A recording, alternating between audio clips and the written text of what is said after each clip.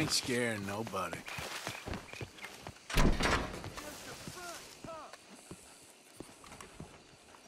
One moment, please. This Hey. is extremely delicate. There.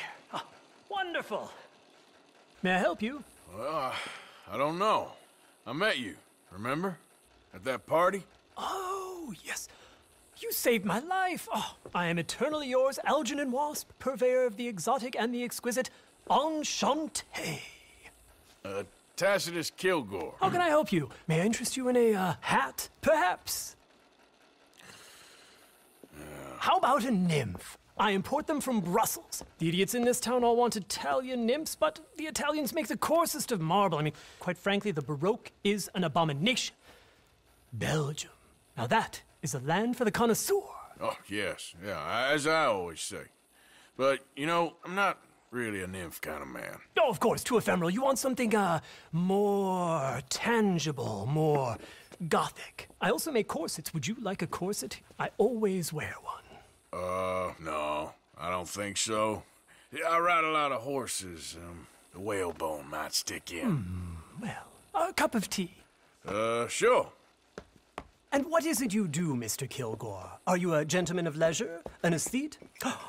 An artist. I suppose I'm kind of an adventurer. Ha! Yes, of course you are. Here, be careful with the china. Sir, it is French. Not Belgian? No, no, no, no, no, no. They are Philistines in that area not to be trusted. Youth, eternally preserved in marble, is more their specialty. I fear China will always elude them. Now, why are you here exactly? I don't know. You're an adventurer, a wanderer, a lost soul cast out from heaven? Sure. Well, I do pay exceptionally well for certain objects needed for my art. Mm, You do? I do. Exceptionally well. Well, what do you need? Let's see.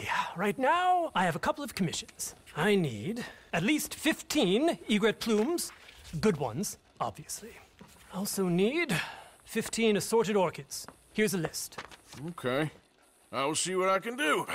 Thanks for the tea. Thank you, Tacitus. It'll be very worth your while.